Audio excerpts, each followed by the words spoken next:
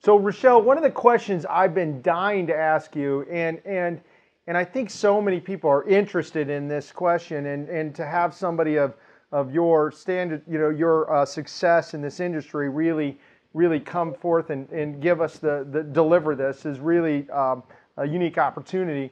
What is the state of healthcare right now? I mean, is it is I'm I'm seeing it from afar. I've got I've got five or six clients in this space and and is it, it just seems so disorganized and so myopic am i crazy is that what you're seeing here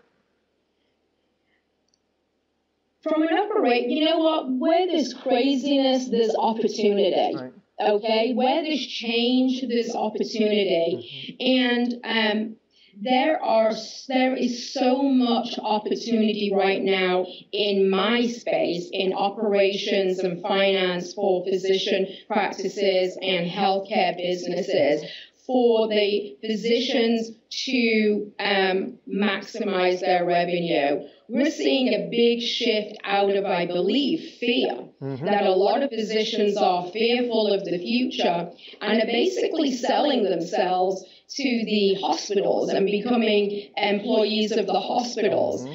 And this happened many, many years ago. The pendulum has swung back again. And like you said, I've been in healthcare for a long time. Well, I would say about 15 years ago, don't quote me on the actual years. Right.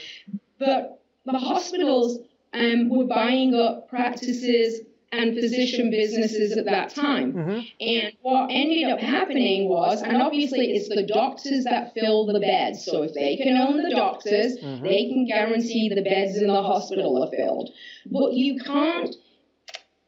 Private practice is a bunch of physicians who basically are entrepreneurs in their own right, even though they don't think they're business people. Right. They really are and they are self motivated. Now, when you take them out of that arena and put them in the hospital, they're not motivated to see 30 patients a day. They're not motivated to get up at 3 o'clock in the morning for a base pay salary. And what I believe is going to happen three to five years down the road is that the hospitals are not going to make their financial bottom line based upon physician revenue and generation of income, based upon what they're paying the physician and the volume of patients. Right.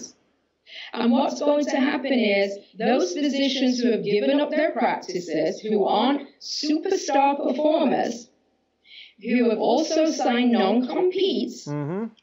Are going to be terminated from those hospitals and then where are they're going to go because they've signed a non-compete. Right. So the physicians need to take stock. I'm not saying that maybe they shouldn't um, go work for the hospitals, right. but they need to look at the type of relationship that they're getting into with the hospital. I mean, from what, is it not only from standpoint, but from a future career standpoint, because some of these guys are coming straight out of school.